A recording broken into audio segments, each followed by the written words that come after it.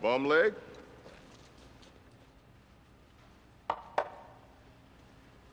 No leg. I was engaged to a girl once with a wooden leg. Yeah? What happened? Had to break it off. All right, cut the crap.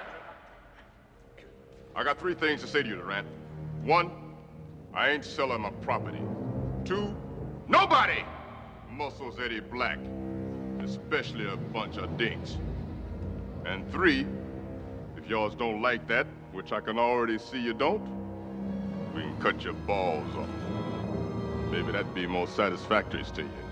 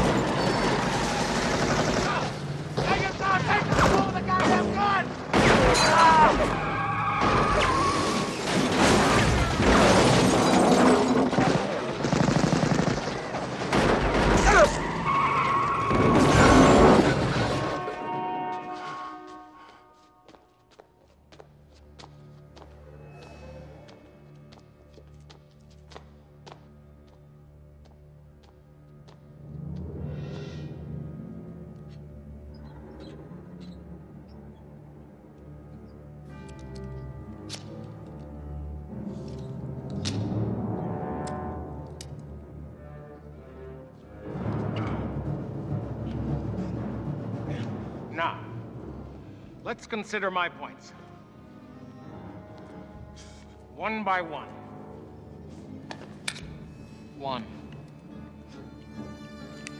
I try not to let my anger get the better of me. Two. I don't always succeed. Three. I've got seven more points. Ah!